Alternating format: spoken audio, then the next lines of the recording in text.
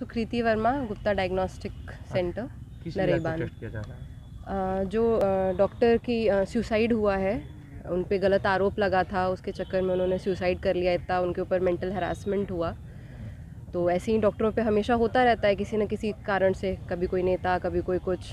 तो इसकी वजह से हम लोग आज इकट्ठा हुए हैं प्रोटेस्ट कर रहे हैं कि ऐसे कर चलता रहेगा तो फिर हम लोग पेशेंट्स का इलाज कैसे करेंगे? बस इसीलिए। आप लोग क्या चाह रहे हैं? एक कुछ एक गवर्निंग बॉडी रहे कोई रेगुलेटरी वो रहे कि ऐसे कोई भी आके हम लोग के ऊपर हरास करेगा तो फिर कैसे काम चलेगा? तक ये बताई जाए आम लोगों तक कि जो बीच बिचौलिए लोग नेता आके और ये गड़बड़ी फैलाते हैं ऐसा ना करें।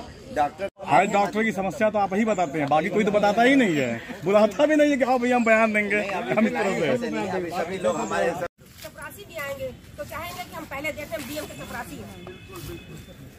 तो ये तो ऐसा नहीं होना चाहिए। अगर डॉक्टर को आप भगवान का दर्जा मत दीजिए लेकिन कम से कम दिन रात काम करता है तो उसकी इज़्ज़त दीजिए। आप रात में अपनी दुकान खोल कर दवाई नहीं दे सकते कपड़ा नहीं दे सकते कोई काम नहीं कर सकते। आपका ऑफ़िस का टाइम बंद हो जाता है तो आप कोई काम नहीं करेंगे पेपर साइज़ नहीं करेंगे। और डॉक्टर से चाहेंगे रात में आके वो मरीज़ देखे। क्यों देखे भाई? उसकी ज़िंदगी नहीं है क्या? और यदि इतनी उम्मीद करते हैं तो डॉक्टर की इज़्ज़त करना सीखिए। उसको इतना परेशान मत करिए कि वो हत्या कर ले वो बलिदान दे दे। मैं समाज से उम्मीद करती हूँ समाज डॉक्टर की इज़्ज़त करना सीखे तो समाज को ट्रीटमेंट मिलेगा, नहीं तो एंबुलेंस में समय आएगा कि एंबुलेंस में घूमते घूमते मरीज़ मर जाएगा जय हिंद।